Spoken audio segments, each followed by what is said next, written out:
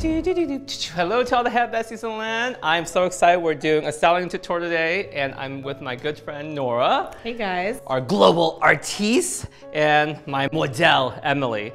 So a lot of times we, we're doing this huge blowout, and we're wondering, okay, how come we're hurting our arms, we're blowing out her hair, but how come the bevel isn't there, right? And I like to keep the bevel in the hair there, especially when you have one length hair, you want to, it's like, how do you get volume? So I want to show you guys how you do that using Guy Tang Mydentity products. So let's go ahead and give me my hair lube. Okay, so layering products is really important and understand when to layer the products accordingly, like will you put the hair lube on after or before? So I like to put the hair lube on dry hair before anything else. Less is more, right? So just about two pumps, gonna massage it all over my palms and my fingers, hands here. And just kind of just glide it through the, the outside surface of the hair just to remove any flyaways and kind of add that polish and slippage to the hair. This is a two inch curling iron. It's very big, it's very girthy, it's very thick. The big daddy iron. yeah, but this is the size we need when we're going in creating this look. So she has one length, and the key is to over-direct everything towards her face. The over-direction ensures that it cups her face, right? Her length is slightly longer in the front because she has like, as you can see here, it slightly slopes forward. I kind of dig that look, so I didn't want to cut into it. I kind of want to keep the long little dagger points in the front. I think that's kind of cool. So we are going in using my Defender from Guy Tang Mydentity spray. This is the heat protection spray, protects the hair up to like 430 degrees, but don't be crazy, don't turn on too high because you still want to protect the hair color. So I'm gonna brush that through. And we're gonna turn the iron under. We're gonna start at base here, turn it under. Wrap it in flat, lay the hair flat on the iron, that's the key here, and roll the ends in last, just like so. And the cool thing is what I love is that when you give a little body to the hair, the color looks so much more vibrant, so much more shinier and more polished, right? It just comes alive. The hair comes alive. And you don't need to leave the iron on for too long. You're just doing it to give it body and kind of like roll it in just like that. So even you see like a slight curl on the ends, don't mind it because at the end I'm gonna brush it out and then gonna back brush it a little bit to give it a little oomph because with the length of her hair being so long, if you try to brush it out immediately, what happens is you lose that shape really fast. With hair being one length like this, you lose curl really, really fast because of the weight and it the drops. gravity, it just drops. Right, so I'm just gonna drag all of this hair in. Okay, turn right there through the center of the hair and then wrap the ends in last. I'm gonna continue this all the way to the back of her head and repeat the same thing on the opposite side, but keep spraying your My Defender spray as you go, and that's the key here, is to just protect every section and brush the product through.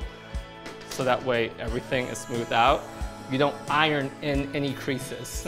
And brushing through the hair also helps get even distribution of the product. And if you want to flip the hair away from the face, you can, but I just really want the hair to go into the face, just so you have like that face framing hug. Every now and then we need a hug from the hair.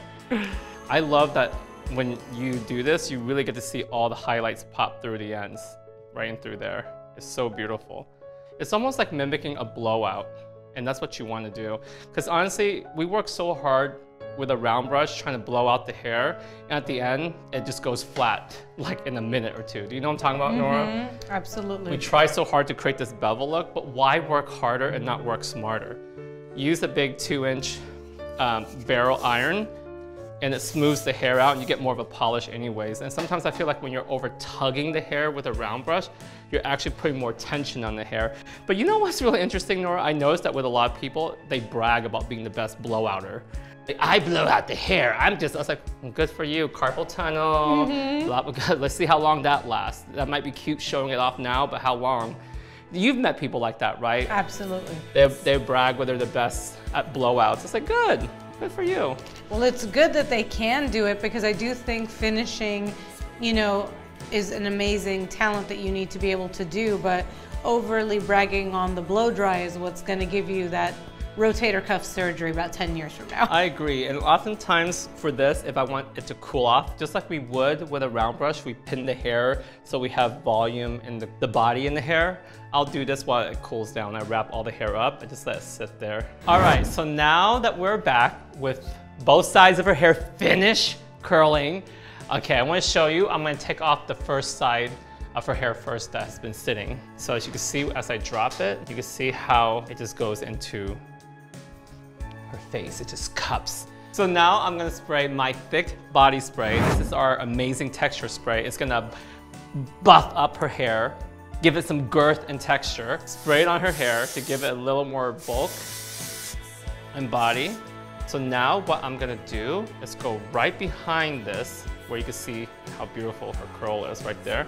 We're gonna create a soft back brush to create like a cushion just so we have more volume. So you see I grip the ends, just tap just the back part of it.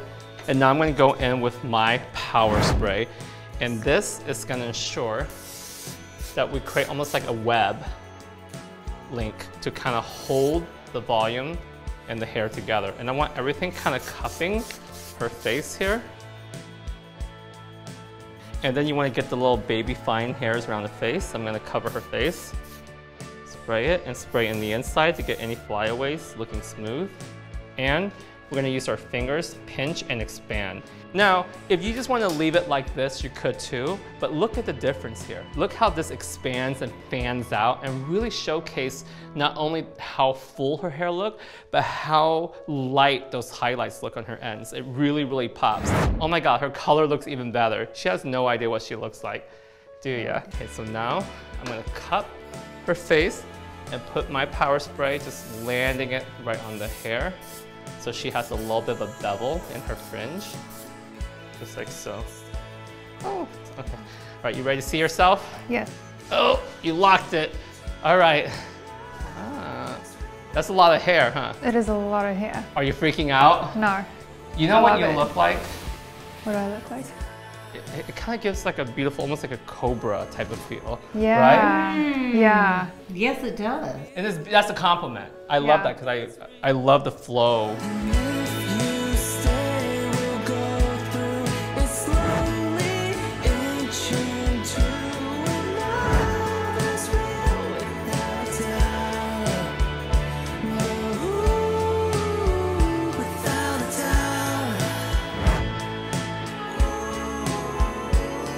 So anyway, guys, this is how you do this beautiful style. I hope you guys like it. Click thumbs up, subscribe, stalk me and Nora on Instagram, and download my music on iTunes, Spotify, Google Play, Apple Music, all that stuff. My album's called More to Me. Thank you for your love and support. Leave comments below. Bye!